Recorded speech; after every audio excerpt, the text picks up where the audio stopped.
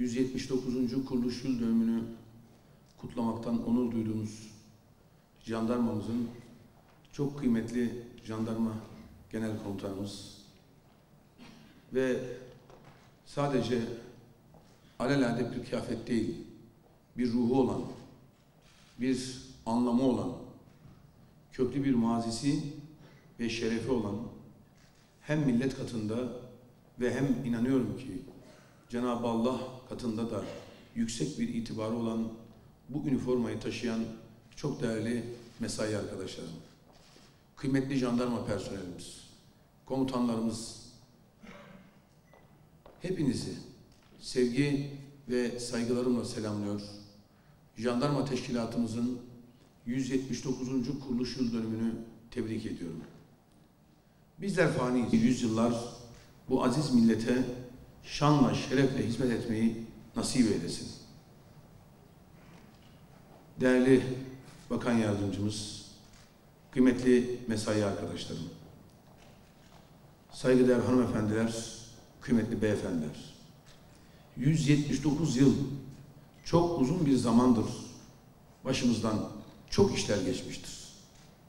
Yeri geldi asayişi sağladık.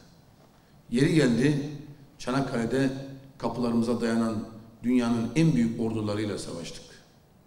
Gün oldu sırtımızdan bıçaklandık. İhanete uğradık. Gün oldu kapımıza dayanan mazlumlara kucak açtık. Bu teşkilat bütün bu hadiselerin üstesinden esas itibariyle iki hasletiyle gelmiştir. Bunlardan birisi vatan sevgisi. İkincisi de merhamettir.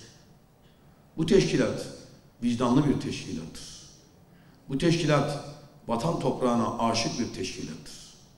İşte bunun için bizim evlatlarımız 2500 rakımlı yaylalarda türküler söyleyerek dolaşır. Kimsenin çıkmadığı dağlarda destan yazar.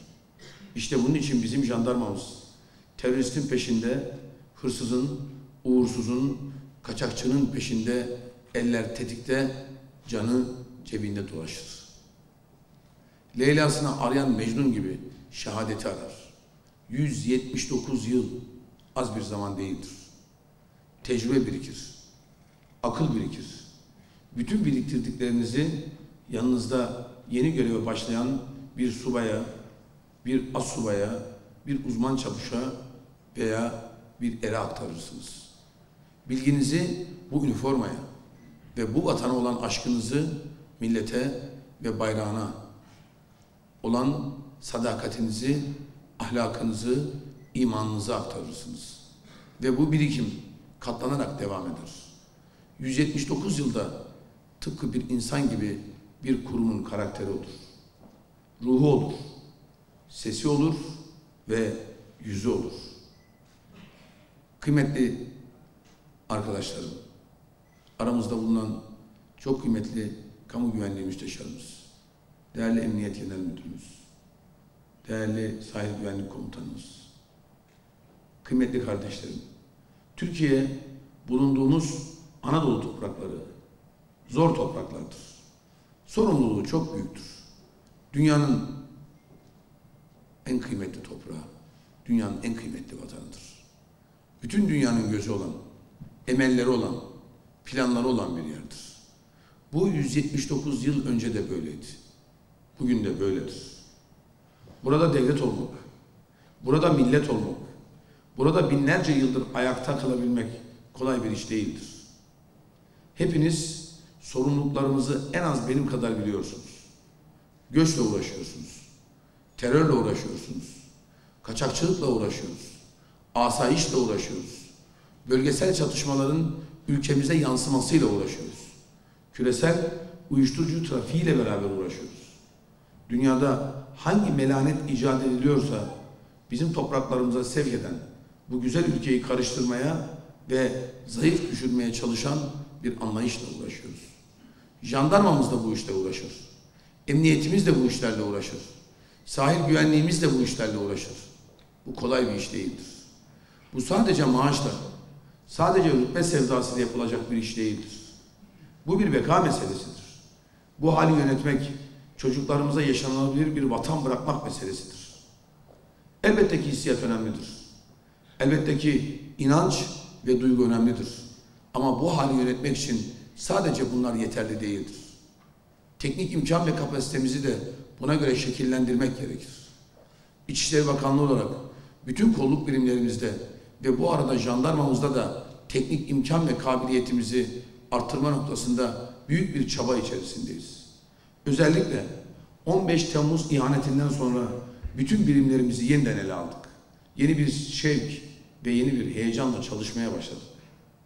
Sayın Cumhurbaşkanımız Recep Tayyip Erdoğan'ın da bu çalışmaların her noktasında gerek kadro tahsisi, gerekse teknik araç, gereç alımlarında büyük desteklerini gördük. Sadece asayiş noktasında trafik aracı, motosiklet, olay yeri imha, patlayıcı madde imha aracı gibi araçlarda 2017 yılı rakamımız 674. 2018'de bu rakamı 1484'e çıkarttık.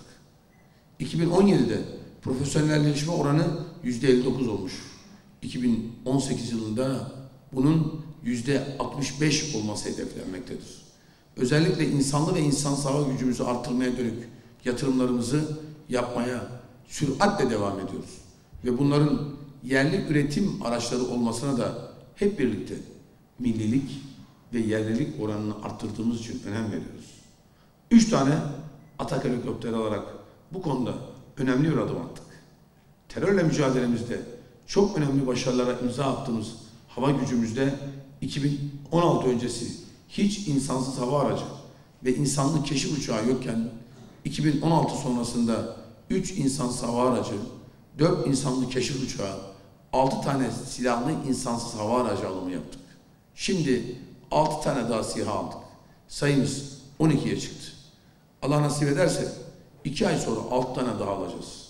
4 ay sonra bir 6 tane daha da alacağız. Aynı şekilde personel alımına bunların eğitimine ağırlık verdik.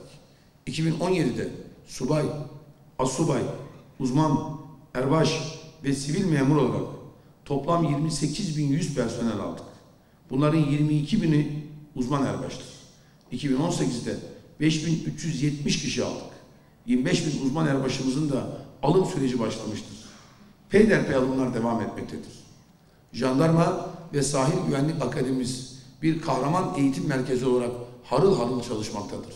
Ve bütün bunlar gerek emniyet, gerek jandarmada yaptığımız bu yatırımlar sahadaki başarılarımıza da birebir yansımaktadır. 2016'da 895 sığınak ve barınak kontrolü yapılmış. 2017'de bu rakam imha edilen, ortadan kaldırılan bu inlerin sayısı 1807 olmuştur. Yılbaşından bugüne kadar da 684 sığınak ve barınak imha edilmiştir. Yine 2016'daki terör operasyonu sayımız 36.500'den 2017'de 56.925'e çıkmış.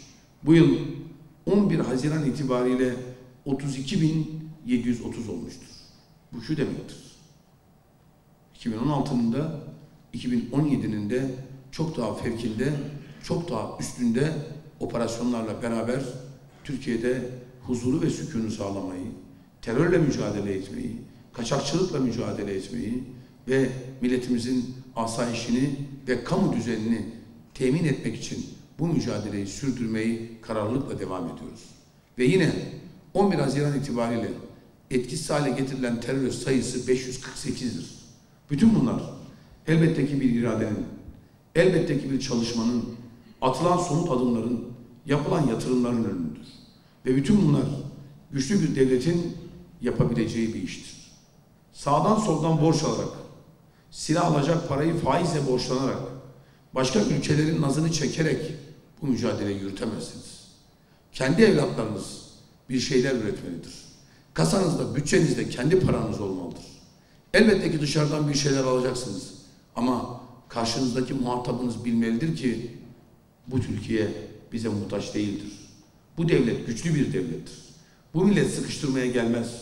Oyun oynamaya gelmez bir devlettir. Türkiye bugün Allah'a çok şükürler olsun ki bu hali temin etmiştir. Türkiye bugün kendi kararını kendisi veren, kendi göbeğini kendisi kesen, kimseden icazet almayan bir devlettir. Fırat Kalkanı'na DAEŞ, Afrin operasyonuyla da PYD'yi gerekli dersi verdik. İnşallah şimdi de Kandil operasyonuyla PKK denilen böcek yuvasını da tarihe gömeceğiz. Hiç kimsenin şüphesi olmasın. Değerli arkadaşlarım, elbette ki işimiz bitmeyecektir. Jandarmamızın işi, sorumluluğu 179 yıldır bitmemiştir.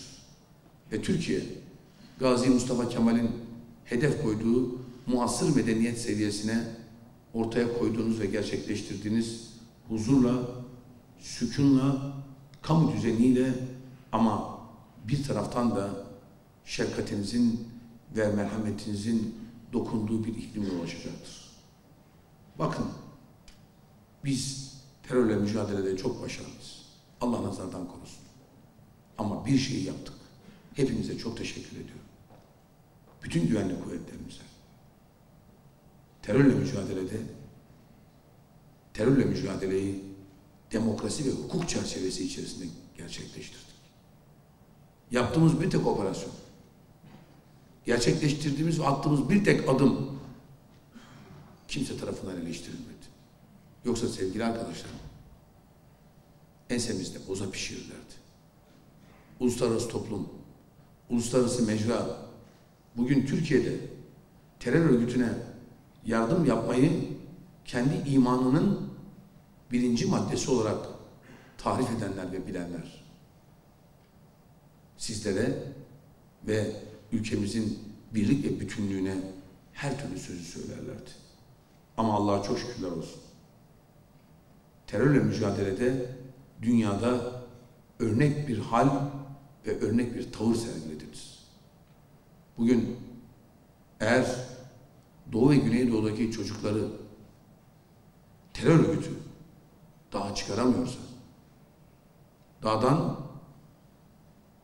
terör örgütünden kaçanlar, jandarmamızın, milletimizin yanına gelip, evet biz bir işten vazgeçtik, ne olursunuz bizi buradan kurtarın diyorlarsa, biliniz ki işinizi iyi yapmanızın yanında bir taraftan da ortaya koyduğunuz adaletin, hakkaniyetin, merhametin, şefkatin ve aynı zamanda da altını çizerek söylüyorum ki demokrasi ve hukukun yerli yerinde gereği gibi icra edilmesidir.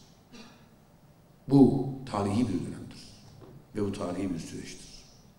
Her birimizin şu anda hudutlarda yani sınır boylarında bir taraftan Kato Dağı'nda bir taraftan Tunceli Pürümür'de bir taraftan Şenyayla'da bir taraftan Çemçemadur'da bir taraftan şu anda Afrin'de Cerablus'ta Azez'de Mare'de Ray'de bir taraftan Somali'de kendileri burada olmayan ama gönülleri ve bütün dilekleri bizimle olan bütün arkadaşlarımız. Karargahta bütün bu işin altyapısı için çalışan, her yerde asayişi temin etmek için gayret gösteren, gecesini gündüzüne katan, trafiğinden kaçakçılığına kadar her türlü meseleyi başarıyla beraber yürüten bu kanun ordusuyla, jandarma teşkilatımızla onur duyuyoruz ve gurur duyuyoruz. Ve bu toprakların kıymeti hiçbir zaman bitmeyecektir. Birilerinin her zaman bizim vatanımızda gözü olacaktır. Birileri her zaman huzuru bozmak isteyecek, milleti rahatsız edecek, malına, canına, namusuna kastedecektir. Ama biliyor ve inanıyorum ki 179 yıldır olduğu gibi jandarmamız yine onların karşılarında olacaktır. Bu ülkeyi, bu milletin evlatları bu güzel üniformanın içerisinde dün olduğu gibi, bugün olduğu gibi yarın da korumaya devam edecektir.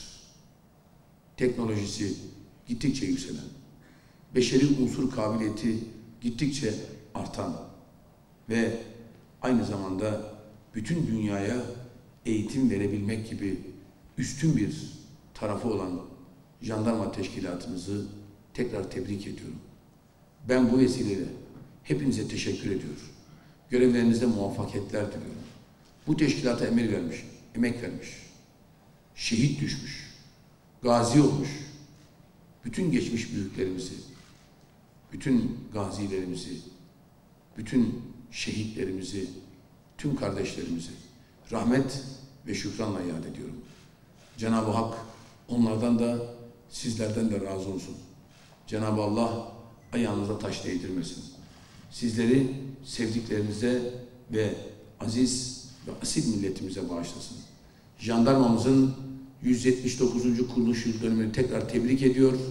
Hepinize sağlıklı, mutlu ve güzelliklerle dolu bir bayram diliyorum. Allah'a emanet olun. Tekrar hayırlı ve uğurlu olsun.